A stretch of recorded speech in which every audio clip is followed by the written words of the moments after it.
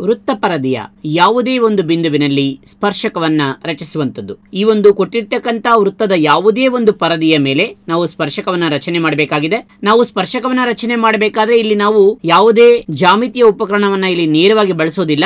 Virtual ಆಗಿರ್ತಕ್ಕಂತ compass ಅನ್ನ ಬಳಸಿ, virtual ಆಗಿರ್ತಕ್ಕಂತ ಸ್ಟ್ರೈಟೇಜ್ ಅನ್ನ ಬಳಸಿ ನಾವು ಇಲ್ಲಿ ರಚನೆಯನ್ನ ಮಾಡ್ತೇವೆ. ನಿಮ್ಗೆ ಗೊತ್ತಿದೆ, ನಾವು ಸರಳ ರೇಖೆಯನ್ನ ರಚನೆ ಮಾಡಬೇಕಾದ್ರೆ ಸ್ಕೇಲ್ ಅನ್ನ ಬಳಸ್ತೇವೆ, ವೃತ್ತವನ್ನ ರಚನೆ ಮಾಡಬೇಕಾದ್ರೆ ಕಾಂಪಾಸ್ ಅನ್ನ ಬಳಸ್ತೇವೆ. ಈಗ ಇಲ್ಲಿ ವರ್ಚುಯಲ್ ಕಾಂಪಾಸ್ ಅನ್ನ ಬಳಸಿ ನೋಡಿ ಯಾವ ರೀತಿ ರಚನೆಯನ್ನ ಮಾಡ್ತಾ ಇದ್ದೀವಿ ಅಂತ ವರ್ಚುವಲ್ ಕಾಂಪಸನ್ನು ಬಳಸಿ ಯಾವುದೇ ಒಂದು ತ್ರಿಜ್ಯದ ವೃತ್ತವನ್ನು ರಚನೆ ಮಾಡ್ಕೊಳ್ಬೋದು. ಸ್ಟ್ರಾಟೇಜನ್ನು ಬಳಸಿ ಎಷ್ಟು ಬೇಕೋ ಅಷ್ಟು ಅಳತೆಯ ನಾವು ರೇಖಾಖಂಡವನ್ನ ರಚನೆಯನ್ನು ಮಾಡ್ಕೊಳ್ಬಹುದು. ಇವುಗಳ ಆಧಾರವಾಗಿ ನಾವು ವೃತ್ತ ಪರದೆಯ ಪಿ ಬಿಂದುವಿನಲ್ಲಿ ಇರ್ತಕ್ಕಂಥ ಪಿ ಬಿಂದುವಿನಲ್ಲಿ ವೃತ್ತಕ್ಕೆ ಸ್ಪರ್ಶಕವನ್ನು ಎಳೆಯಬೇಕಾಗಿದೆ.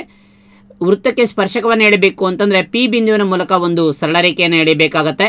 ಆ ಸರಳ ರೇಖೆಯನ್ನು ಎಳೆದು ಅದೇನಾಗಬೇಕು ಆ ಸರಳ ರೇಖೆ ಏನಪ್ಪಾ ಅಂದರೆ ಕೇಂದ್ರಕ್ಕೆ ಲಂಬವಾಗಿರಬೇಕು.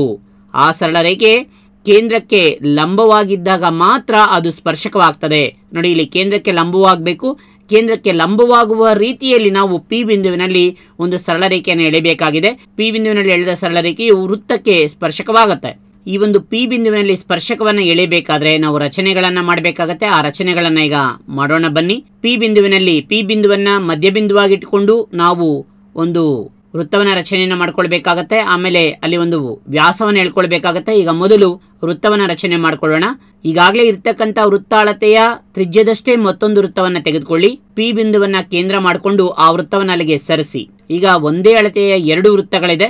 ಈ ಪಿ ಬಿಂದುವಿನಲ್ಲಿ ವ್ಯಾಸವನ್ನ ಎಳೆಯಿರಿ. ಆ ವ್ಯಾಸ ಎಳೆದಿರ್ತಕ್ಕಂಥ ವ್ಯಾಸ ಮೊದಲು ಎಳೆದಿರ್ತಕ್ಕಂಥ ವೃತ್ತ ಕೇಂದ್ರಕ್ಕೆ ಸೇರ್ಬೇಕು. ಆ ರೀತಿಯಲ್ಲಿ ವ್ಯಾಸವನ್ನ ಎಳೆಯಿರಿ. ಆ ವ್ಯಾಸವನ್ನ ಎಳೆದಾದ್ಮೇಲೆ ನಾವೇನ್ ಮಾಡ್ಬೇಕಪ್ಪ ಅಂದ್ರೆ ಈ ವ್ಯಾಸದ ಒಂದು ಇದರಲ್ಲಿ ವ್ಯಾಸವನ್ನ ಎಳೆದು ಅದಾದ್ಮೇಲೆ ವ್ಯಾಸವನ್ನ ಅರ್ಧಿಸಿದ್ರೆ ಅಥವಾ ವ್ಯಾಸಕ್ಕೆ ಲಂಬವನ್ನ ಎಳೆದ್ರೆ ಅದು ಪಿ ಬಿಂದುವಿನ ಮೂಲಕ ಲಂಬವನ್ನ ಎಳೆದಾಗ ಅದೇನಾಗತ್ತಪ್ಪ ಅಂತಂದ್ರೆ ಅದು ಎಳೆದಿರ್ತಕ್ಕಂಥ ಲಂಬವೇ ಪಿ ವೃತ್ತಕ್ಕೆ, ಅಂದರೆ ಪಿ ಬಿಂದುವಿನಲ್ಲಿ ವೃತ್ತಕ್ಕೆ ಎಳೆದಂತಹ ಒಂದು ಸ್ಪರ್ಶಕವಾಗುತ್ತೆ. ಅದರಿಂದ ವ್ಯಾಸವನ್ನು ಸರಿಯಾಗಿ ಎಳೆಯಿರಿ.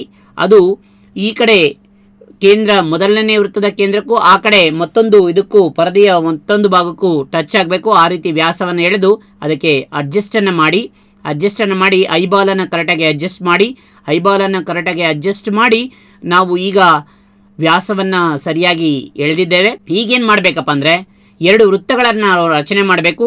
ಒಂದು ಈ ಕಡೆ ವ್ಯಾಸದ ಒಂದು ಎರಡೂ ಬಿಂದುಗಳಲ್ಲಿ, ಅಂದರೆ ವ್ಯಾಸದ ಎರಡು ಅಂತ್ಯ ಬಿಂದುಗಳಲ್ಲಿ ನಾವೇನು ಮಾಡಬೇಕಂದ್ರೆ ವೃತ್ತಗಳನ್ನು ರಚನೆ ಮಾಡಬೇಕಾಗತ್ತೆ.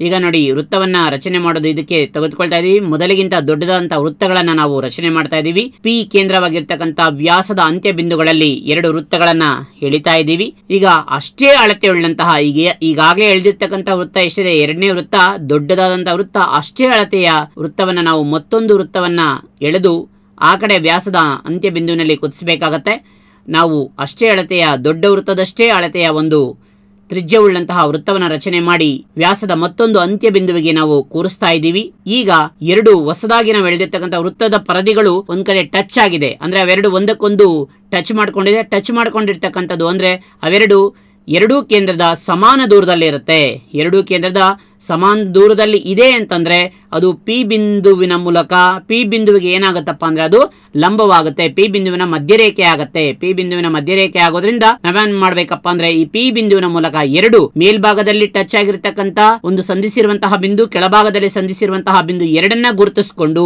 ಪಿ ಬಿಂದುವಿನ ಮೂಲಕ ಒಂದು ರೇಖಾಖಂಡವನ್ನ ಎಳೆಯಿರಿ. ಪಿ ಬಿಂದುವಿನ ಮೂಲಕ ಈಗ ಒಂದು ರೇಖಾಖಂಡವನ್ನ ಎಳಿತಾ ಇದೀವಿ ಐಬಾಲನ್ನ ಅಡ್ಜಸ್ಟ್ ಮಾಡ್ತಾ ಇದೀವಿ ಐಬಾಲನ್ನ ಅಡ್ಜಸ್ಟ್ ಮಾಡಿ ಪಿ ಬಿಂದುವಿನ ಮೂಲಕ ಒಂದು ಲಂಬವನ್ನ ಎಳಿತಾ ಇದೀವಿ ನೋಡಿ, ಮೇಲ್ಭಾಗದಲ್ಲಿ ಸಂಧಿಸಿರ್ತಕ್ಕಂತ ವೃತ್ತ ವೃತ್ತ ಕೇಂದ್ರಗಳು, ಕೆಳಭಾಗದಲ್ಲಿ ಸಂಧಿಸಿರ್ತಕ್ಕಂತ ಒಂದು ವೃತ್ತದ ಕೇಂದ್ರಗಳನ್ನ ಗುರುತಿಸಿಕೊಂಡು ನಾವು ಪಿ ಬಿಂದುವಿನ ಮೂಲಕ ಒಂದು ಸರಳ ರೇಖೆ ಅಥವಾ ರೇಖಾಖಂಡವನ್ನ ಎಳೆದಿದ್ದೇವೆ. ಈ ಎಳೆದಿರ್ತಕ್ಕಂತ ರೇಖಾಖಂಡ ಮೊದಲಿರ್ತಕ್ಕಂತ ಏನು ಕಪ್ಪು ಬಣ್ಣದಲ್ಲಿ ಇರ್ತಕ್ಕಂತ ವೃತ್ತಕ್ಕೆ ಏನಾಗುತ್ತೆ? ಲಂಬವಾಗತ್ತೆ.